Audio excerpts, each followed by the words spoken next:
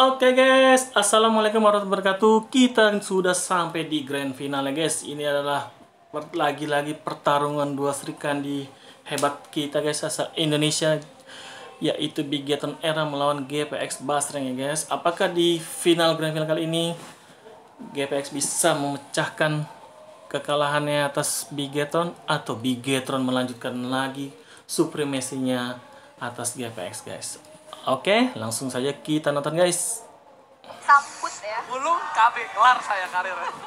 Sementara ada game post guys. Sudah memegang handphone masing-masing oleh Samsung Galaxy S23. Apakah kita akan menuju ke line of the? Yes. So, Oke, this is his grand final. Let's go. Here we go. Kita lihat pertarungan di Caramel game yang Hyper pertama antara Bigetron Lunox. Era melawan teman-teman dari tim GPX Basreng yang BTR Hyper Fredin ya guys ya. Dengan komposisi hero seperti ini tentunya Lunox butuh banget waktu dan Lolita, juga dari Valentina. sisi objektif. Oh lagi-lagi. Ya, itu yang aku mau tanya. Safir Ketika ya, lagi meta guys ya, Safir. yang cepat untuk melakukan jungling itu dibantu oleh Fumieko. Sedangkan Karamel yang sangat sulit untuk melakukan jungling itu tidak dibantu oleh para pemain dari tim GPX Basreng yang tandanya rotasi. Tuh, Itu dapat kan tangan karamel dan buat kalian semua yang bertanya tadi, Bang, handphone apa sih digunakan sama pro player? Yaitu pakai Galaxy S23 series 5G. Yo, Itu Oke. dia, makanya pre-order sekarang juga. Tuh, Yes, yes, bisa yes. dicicil loh. ribu rupiah per bulan. Nah tuh, tunggu apa lagi langsung open pre-order Dia kena push di area atas. Betul adanya sih, bahkan kita bisa lihat juga mana dari area sisi Poni ya harus mulai mantau pergerakan dari Karamel karena balik lagi Vival dan juga Karamel punya karakteristik yang berbeda dan cenderung diamankan oleh Vival sebetulnya untuk bisa melakukan clearing monster jungle dengan sangat cepat. That's why di sini Karamel butuh banget Masih kosong-kosong. penjagaan ketat di area awal. Beda berapa tuh? Empat. Dan bakal lihat di all Uh. in di area top lane Darkeningnya. Jill mencoba untuk sedikit membantu pergerakan dari Vivian masih bisa mundur ke arah belakang. Viviannya bisa mundur ke belakang. Dengan damage yang seorang Karamel masih belum bisa mumpuni mendapatkan seorang Vivian. Karamel tetap berhasil mendapatkan satu gold buff. Tapi ada sedikit minus. Apa tuh? mana rotasi dari seorang Karamel ini harus agak cepat menuju ke arah bottom lane. Ketika ada Turtle sebentar lagi muncul dan Turtle Camp present by Samsung Galaxy S23 Series 5G sudah muncul ke lane. Lunox harus bawah. ngambil purple dan dulu. untuk di Turtle ini semua pemain juga sudah mulai bersiap-siap dan rotasi memang dilakukan oleh GPX Basreng. Mereka punya damage-nya, Oke. tapi mereka tidak punya badan untuk di area depan, hanya mengandalkan LW yang sedang Ah, ulti. oleh Vival. Ya benar sekali di sini turtle-nya udah mulai ditarik area global presence dari satu buah dan ulti. itu saja. Oh my god, Jadi tidak ada darkening, karena Eko. kalau mundur ke arah sana. Oh, keluar guys. Karamel. Mantap, didapatkan Flicker. dua point kill atas GPX Basreng. Dan lihat, di sisi Main belakang, BTR nggak ada yang mati, guys. Kena stun lagi. bisa flicker. LW-nya. Miskomunikasi antara Vivian dan juga Vival ternyata membuat Iyalah. seorang LW still Uh, kena Dunning dikeluarkan oleh Downing seorang Lights. Downing Light nya guys. tembakan LDR yang dia keluarkan. Dar, mati. off ke area seorang LW harusnya selamat tadi. Baru aku bilang still survive tapi ternyata ada Kame Kameha. Waduh, aduh, aduh. Satu objektif berhasil diamankan dan di area objektif turtle masih bisa disecure oleh teman-teman Bigetron Era. 3-0 kedudukan early yang. Ya, Kurang menguntungkan untuk GPX ya, guys, ya. Dan sangat menguntungkan untuk digunakan tentunya. sudah diubah mode-nya ke darkening, dia nggak akan bisa kabur dan akan ditarik oleh Fredrin kapan pun itu. Belum Double lagi item. Sampingnya ini ada si Fumi Eko. Di Ada bawah juga yang bisa ngejar backliner Gold Shield-nya udah GPX. banyak itu lapu-lapu. Hero tipis udah pasti akan menjadi makanan untuk lapu-lapu. Oke, aku nanya sama Wawa sama Cipi. Way better Lunox atau Direct Jungler? Daerah Direct Jungler. Kalau- Coba pikirkan. kalau mau main daerah ya harus main cepet ya. Ya, tapi setidaknya dia punya damage untuk bisa numbangin seorang uh, Vival, Fumieko, one bear situation. Dan kalau sekarang, tandanya GPX Basreng harus main pick over. Karena dia punya power dari Lunox-nya. Iya, Mainnya sebenarnya late game banget sih. sebenarnya satu lagi sih. Ini banyak sekali single target lock yang dimiliki oleh tim BTS. Alright, tapi Cini. Uh, empat lawan dua, kena ganking, guys. Para pemain dari tim GPX Basreng mencoba mendapatkan satu buah nama best dari arah bottom lane. Fumieko versus Uh. LW terzoning out. hampir. Darius lah nggak bisa bertahan di bottom lane. Nampaknya kali ini atas dominasi Bigetron Era yang akan menyentuh ke 2000 gold di menit yang kelima. 2000 gol. Kena tarik. Bahkan efek stun udah mulai masuk. Udah mulai coba call off gitu saja Tal. Meng terkikis dengan damage yang diberikan efek surprise. Masuk begitu saja di bawah mereka satu damage yang diberikan oleh seorang Vivian yang kuat. Shell berhasil mendapatkan satu point kill Ups, atas satu member yang dimiliki efek hampir. Basrex di area top lane Cincang gak Atas bawah kalah ya, guys, ya. Di dua belah posisi yang berbeda berhasil dimaksimalkan oleh pemain-pemain dari Bigetron Era game yang pertama. Pertama, Cininya sih ngikut mulu guys. Jadi dia mage dibiarin aja. Dua laning GMX Basreng mereka dalam under pressure. Ya. Mereka tinggal mengamankan tengah dan jungle-nya. Sedangkan jungle-nya Karamel ini bukan jungler yang ngejungling. Junglernya hanya untuk bisa memberikan burst damage, mendapatkan objektif. Ya, dan dia harus cari goldnya. Ini bukan ya, balik lagi. Bukan, eh, dia tidak terlalu cepat untuk ambil creeps jungle.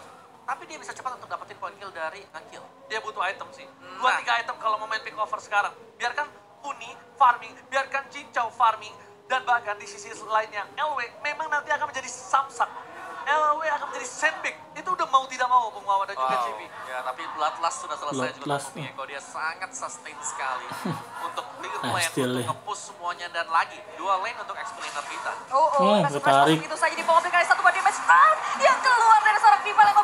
Nggak bisa Tau keluar, langsung harus mati. ditumbangkan untuk kali ketiga. Belum berhenti sampai di sana di mana ada satu buah over dan dikeluarkan begitu saja. Vival masih mau lebih. Cincau coba untuk menyelamatkan dari seorang Karamel dengan aktifnya Spidey Like Will yang masih belum bisa memberikan 5-0 impact yang guys. ke beberapa pemain Bigetron era di area sisi top. Menit ke-6, gold lanernya turun sampai ke inner turret itu menjadi sebuah bahaya dan bahkan FIFA lihat satu buah uh, objektif yang bakal coba diamankan FIFA mundur ke arah belakang para pemain dari tim GMX Basre hampir saja kehilangan parpol tapi masih bisa diselamatkan. Tanya Nomawa yang masih belum bisa dijawab dan masih kita pertanyakan adalah gimana caranya menemukan seorang Cini. Iya, sininya dia di belakang dia Hmm. bebas banget untuk nembakin Mystic Field dan berulang kali Mystic Field. Ini bisa dikombinasikan dengan Defense Judgment. Dia buat di sana ditarik masuk ke dalam kena efek stun lagi dan di follow up dengan yang lainnya. Alright, para pemain dari tim GMX Basre yang setidaknya sudah melakukan clear di arah tengah dan satu turret kembali objektif gaming yang diamankan Bigetron Era dua turret yang di mana fondasinya jangan sampai mid turretnya pecah juga mid turret pecah parpolnya terekspos dan bahkan kemungkinan besar Karamel tidak bisa mendapatkan parpol di menit-menit selanjutnya Ya sih, ditambah lagi kalau kita lihat juga Uh, dari lane, Bumi Eko bakal coba untuk maju ke depan. Cincang masih punya flicker. dapet Bumi. Itu everybody ya, guys. Gila. Bumi, keren. Hmm. yang Hmm, nggak bisa total. ngapa-ngapain. Dunning Light.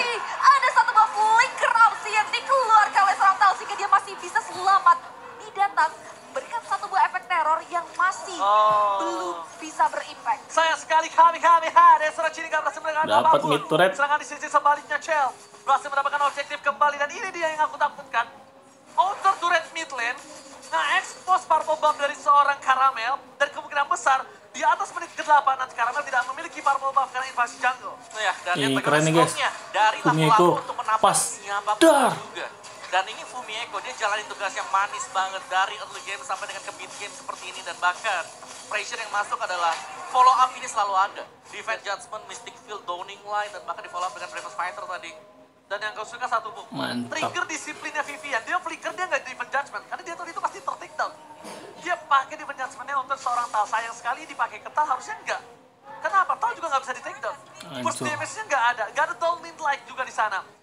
Para pemain dari tim GMX Pasreng, mereka harus bisa membuat game ini lebih lama lagi kalau mereka ingin mendapatkan 8-0 game guys. Apakah GPX bisa pecah telur ini? Mereka leadingnya menangkan, mereka dorong leading jauh di arah top lane dan mereka ambil Lord yang selanjutnya dapetin seluruh tuh? outer turret 8.000. dan kalau bisa base turretnya itu udah menjadi sebuah keuntungan yang mungkin agak cukup sulit dibalikan di late game Wah, ditambah lagi di sini dari sisi Cel benar-benar dapetin space yang besar banget. Lihat perbedaan levelingnya loh, 11 banding 9 dengan Cincau. Cincau baru satu item, guys. Moskopnya udah dari 12 dua.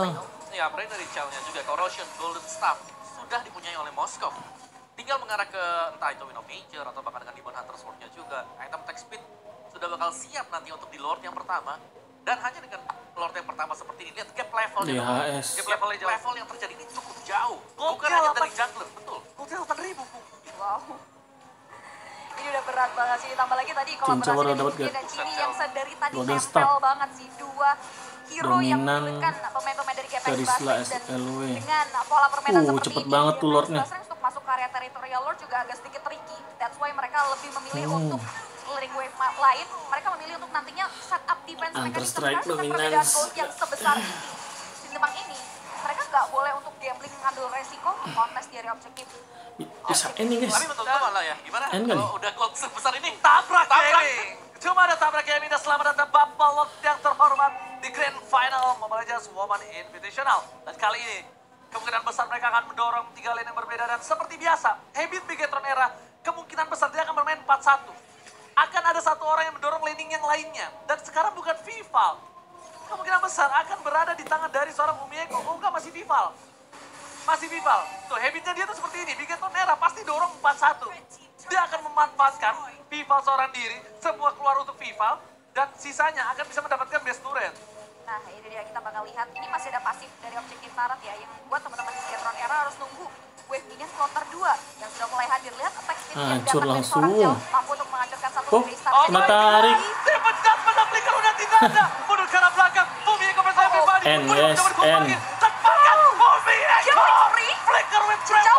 di Uh, sini. sini. Makan menjadi bencana. N, N. Gak Nice, bertahan. nice, nice try, nice try. Fokus ke arah